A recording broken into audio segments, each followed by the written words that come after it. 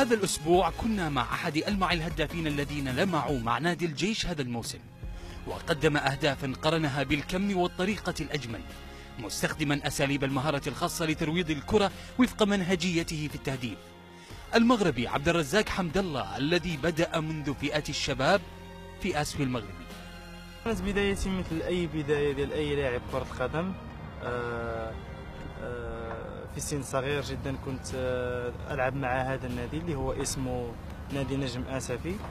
لعبت معه أكثر من سبع سنوات في جميع الفئات الصغريه حتى حتى ال- الفريق الأول. آه، بعدها الحمد لله انتقلت للفريق الأول للمدينة اللي هو اسمه أولمبيك آسفي. آه، لعبت معه تقريبا خمس سنوات. أحرزت العديد من الألقاب. البداية الحقيقية كنجم هداف كانت مع نادي أولمبيك آسيا المغربي والذي بدأ فيه عبد الرزاق فعليا تسطير اسمه في سجل الهدافين. كنت نلعب في شبان أولمبيك اسفي في الأول وفزت معاهم بهداف البطولة. وكان مدرب فرنسي اسمه لورون هو اللي أخذني من شبان و...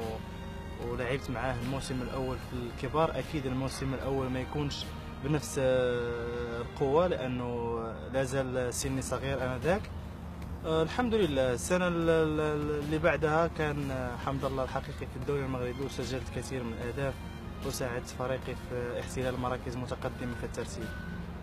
والحمد لله الموسم الثاني اللي مع أولمبيك اسافي استطعت أنني نفوز بدوري هداف بهداف الدوري وقدت فريقي للعب نصف نهائي كأس واحتلينا المركز الثالث في البطولة الحمد لله. دخل بعدها عبد الرزاق حمد الله سماء الاحتراف الأوروبي. فعاش الكرة في محيط النرويج وطار بعدها لاحتراف من نوع آخر في الصين. كل دوري عنده مميز مميزات ديالو والسلبيات ديالو. آه، الدوري النرويجي كان هو كبوابة لي باش نحترف في الدوريات الكبرى الأوروبية. والحمد لله آه، كنت غادي في الطريق الصحيح. آه، جاوني عروض كبيرة من فرق كبيرة في الدوري الألماني آه، الدوري الدنماركي التركي. لكن آه، القدر آه، أنني ذهبت للدوري الصيني اللي حقيقة يعتبر من أقوى الدوريات الآسيوية وعنده لاعبين كبار مدربين كبار. مشوار عبد الرزاق مع المنتخب المغربي بدأ بالقصة الأغرب حين ساهم في تأهل منتخبه الأولمبي لأولمبياد لندن 2012 لكنه لم يشارك فيها. ذكرى يعني سيئة في مسيرتي الكرويه أنه باش كتساعد المنتخب الأولمبي أنه يتأهل لاولمبياد لندن وأي منتخب وأي فريق كيتمنى أنه يلعب أولمبياد. آه يعني آه سجلت تقريبا آه، تسعة أهداف للمنتخب الأولمبي في التصفيات.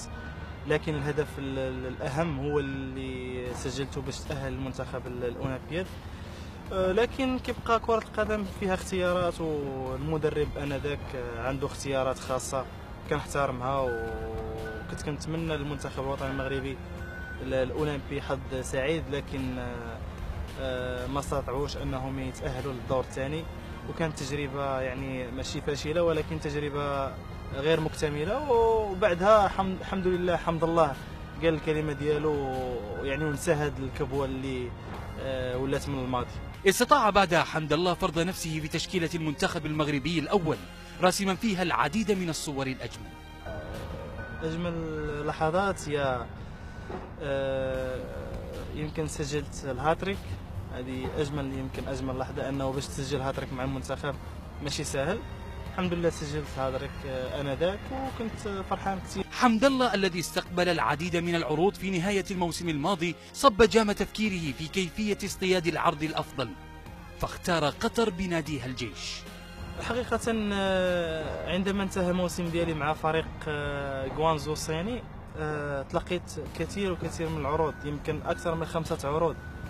وكنت كنتمنى حقيقة أنني نمشي لأوروبا لكن بعض العروض ما ما راقتنيش وما راقتش الفريق ديالي.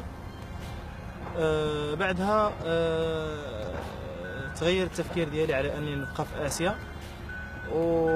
وحقيقة ما كاينش ما أفضل من فريق الجيش آه، في قطر. هذه أول حاجة. ثاني حاجة أنني غادي نعمل مع مدرب كبير اللي اسمه صابري اللاموشي ومع هذه المجموعة تاع اللاعبين اللي حقيقة متميزين.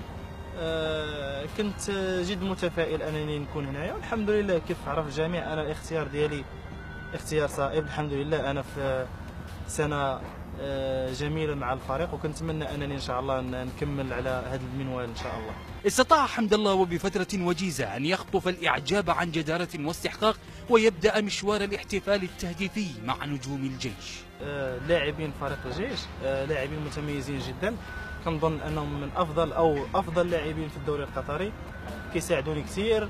آه، كيمنحوني كل الثقه الحمد لله وأنا جد سعيد أنني بين هذه المجموعة ال- ال- الجميلة جدا. الجيش هذا الموسم وتحديدا في الجولات الأخيرة الماضية هو من حمل راية المنافسة على صدارة الدوري. لكن الفارق النقطي الذي يحلق به الريان بعيدا عن المنافسين قد يعطي الجيش نوعا من التلميح بأن الأمور حسمت. كرة القدم ما فيهاش اي ما فيهاش المستحيل.